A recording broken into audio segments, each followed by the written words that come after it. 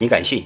眼前这个碗口大小的孔洞，竟然是古人为了吃到盐，耗时十三年凿出来的。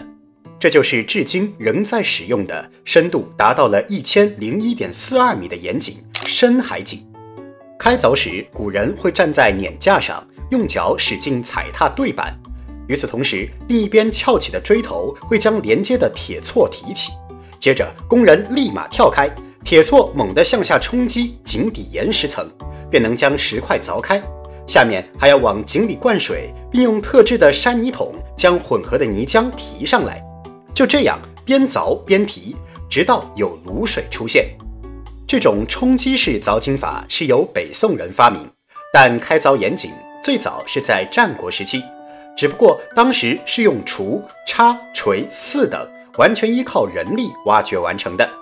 比如最早出现的广都盐井。它的口径大，井深浅，也因此被称为大口浅井。像深海井这类井口小而深的，用的则是小口径钻头，被称为浊筒井。那挖好井后，就该取卤水了。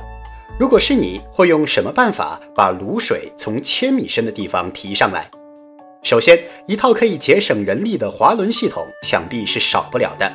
而关键就在于该如何让装进容器中的卤水不洒出来呢？集卤桶，它由打通后的竹节连接而成，底部装了一个十分巧妙的机关，用熟牛皮做成的单向阀。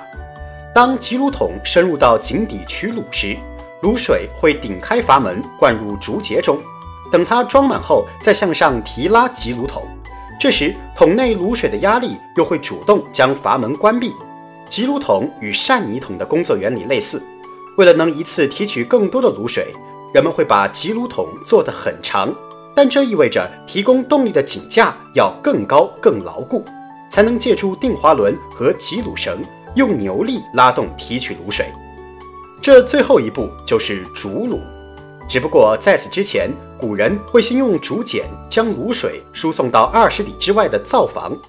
并且为了解决竹子不能拐弯的难题，他们还在需要拐弯的地方专门设置了一个中转站——碱窝，不仅给管道减了压，还沉淀了卤水中含有的杂质。令我更想不到的是，他们煮卤用的竟然不是柴火，而是天然气，这又是怎么一回事呢？其实，早在东汉到蜀汉时期，我国古人开凿盐井时就发现了天然气资源。并且还创建了人类历史上最早的天然气井——林琼火井。天然气由盐井而起，那自然也得为主盐所用。